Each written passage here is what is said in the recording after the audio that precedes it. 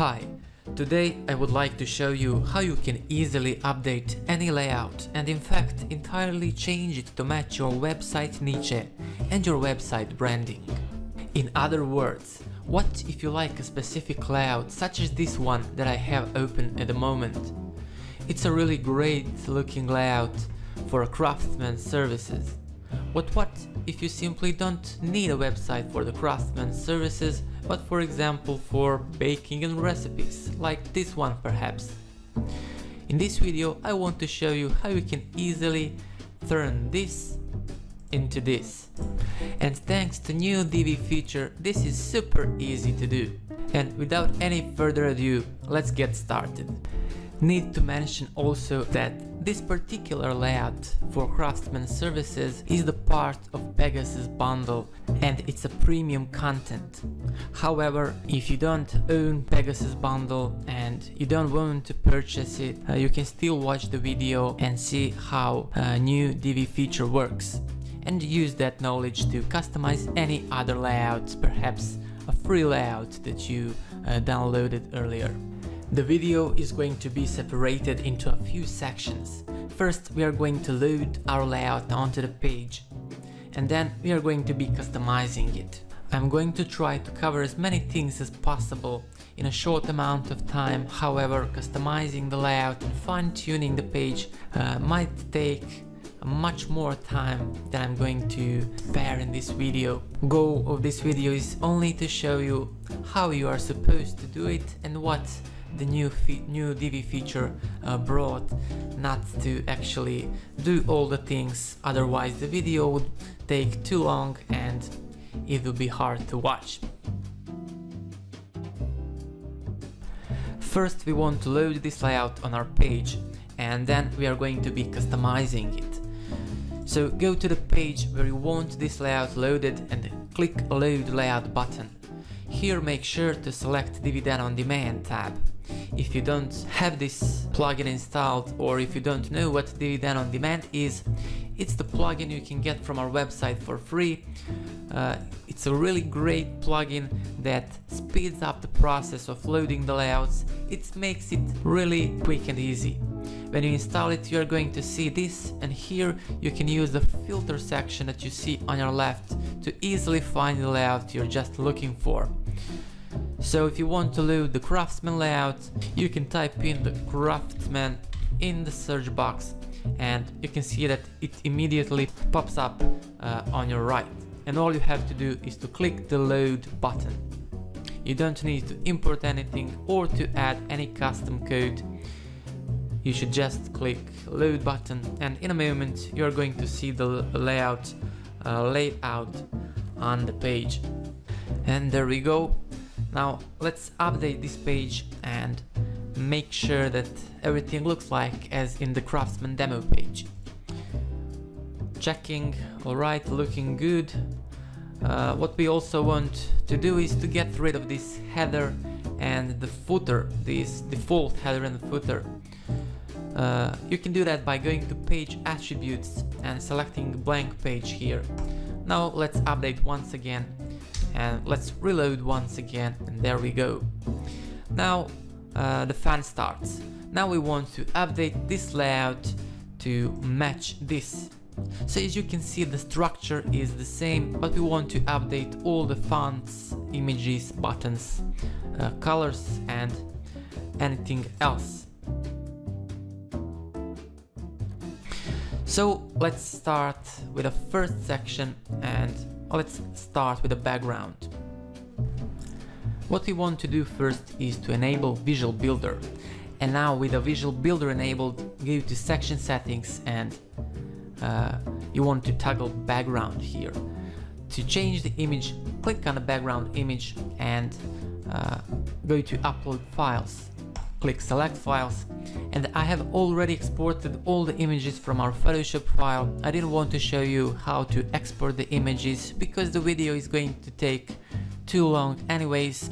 I didn't want to make it uh, really really long so I already exported the images and once you uh, upload the image as you can see it is immediately updated on the page and that's the great advantage of using the visual builder. Now you can save these changes.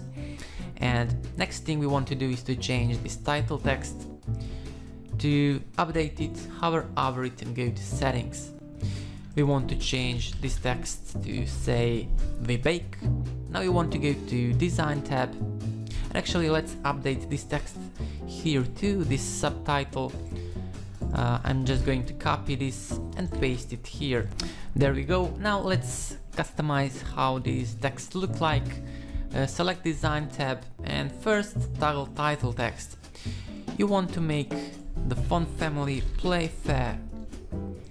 There we go, you want to make it bold, uh, make it italic and disable uh, uppercase option. Also you want to make it white. That's it for the title and for the body text or the subtitle text here you want to make it white. Let's save now the buttons, we want to make this one white with a transparent background. Go to module settings, then we want to go to design tab, toggle button, button text color should be white and the border should be white as well. Let's see uh, on the hover we can make it for example pink like this one, this pink red color uh, let's do that now. So button hover text should be uh, white again and button background color should be this one as well as the button border color. So I just pasted this uh, hex of this color here. Let's save that and there we go, looks good and make the other button look like this one on the hover. I think that should look good. Once again, go to design tab, toggle button, button background color should be a solid one. We can remove this gradient. There we go. Perhaps leave or not. Let's make the border color uh, the same color too. And on hover we can button hover text. Let's see button background color that can stay the same button border color. Let's update that one two and we can save. Now this looks good. What else uh, we want to change the color of this text here too once again hover over it go to settings and here we want to go to design tab toggle texts and choose light Let's save this.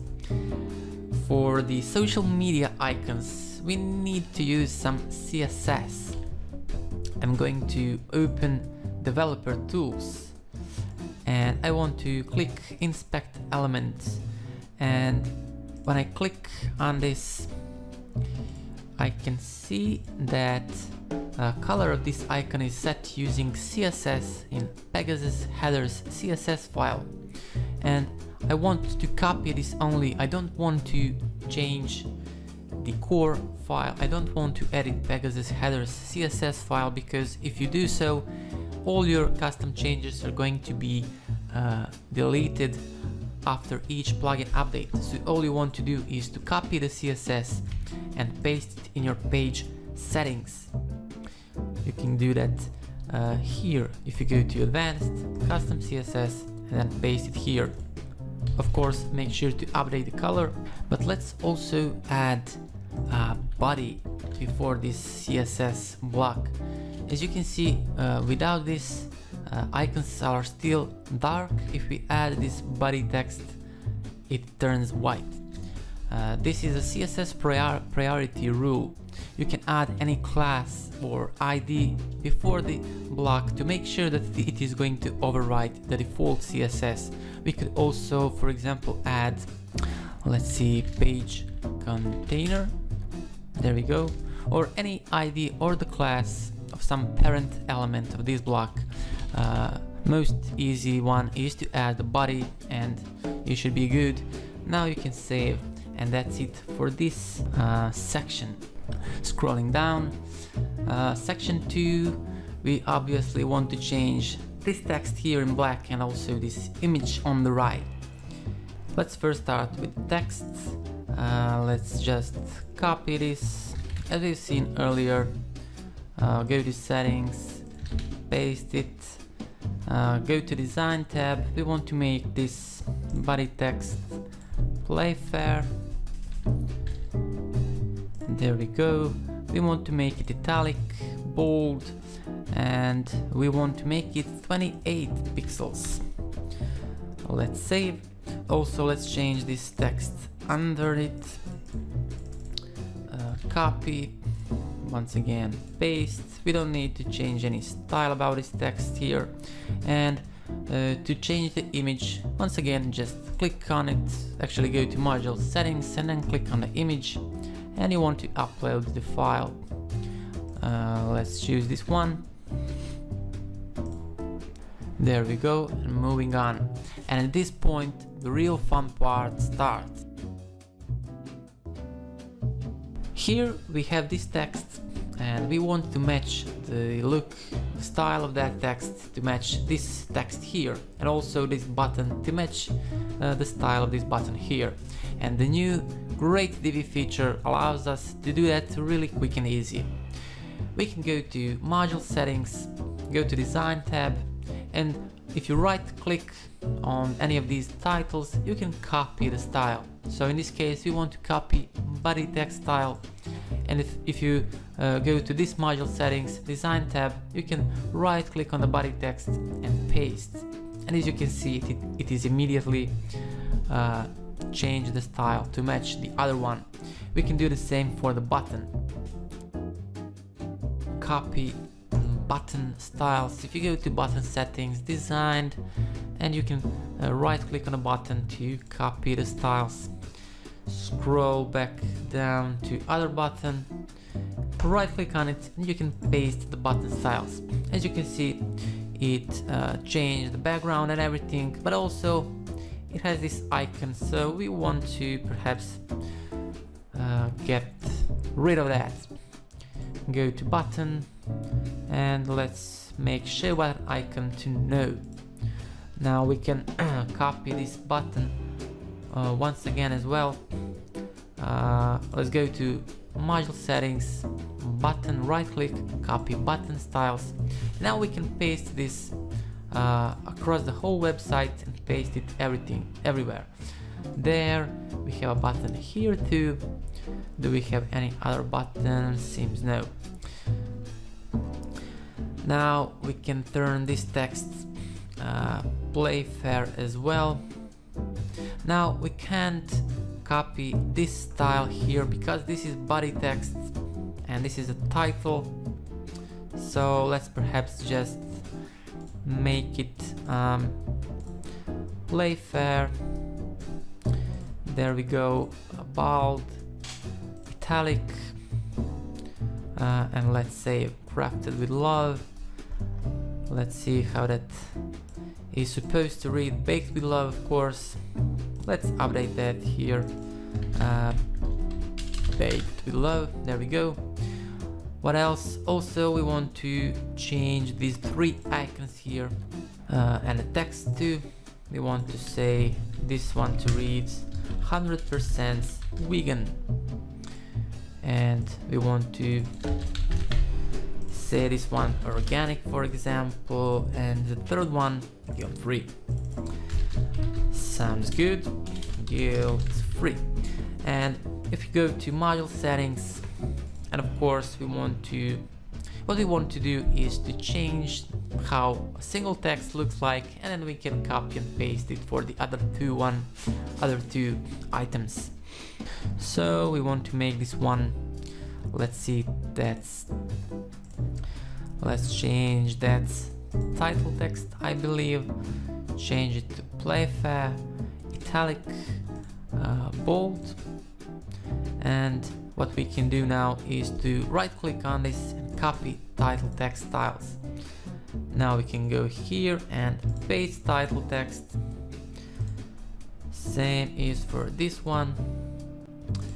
There we go. Uh, you should already know how to update the icon images. You want to uh, go to module settings, go to image and icon, then click on the image and upload the new one. Let's quickly move on. Uh, here we have this section. Let's see what we could update here. Uh, let's update quickly the background image. You know how to do that already as well. Let's choose this one, upload, and there we go. We also want to update this text here. So once again, we want to go to module settings and you can go to uh, this particular uh, slide settings to update the actual text. So go to settings here and then design tab and you can go to title uh, settings here. You can uh, make it italic and Playfair or you can just copy and paste some other uh, title settings that you perhaps have on the page uh, perhaps this one and only make it white after that. Uh, let's see what we have. Once again we want to update the uh, fonts. We want to make this title uh, the same style as this one. Oh. so let's copy this title options here copy title settings and let's paste it here. Paste title text or actually no maybe perhaps this is uh, body text. Let's uh, copy the body text from here. And if you paste it down there let's see. There we go. But also it looks small. We want to make it look not look we want to make it bigger. So go to design tab. Here we want to text a bit bigger. For example 50 pixels. Ah let's just type it manually or this works. Okay and here we want to update these titles here too. So once again you can copy uh, any title from anywhere on the page and paste it here then just adjust the size or something else that is pretty much it. I wanted to show you uh, now you know how it's easy to copy and paste the style across the page uh, and not only for the same type of the modules but you can also share some attributes between different modules such when we uh, use the background color of the button to paste it as the section background or similar that's it for this tutorial. I hope you uh, learned something new and that you will enjoy the new great Divi feature. Thanks for watching.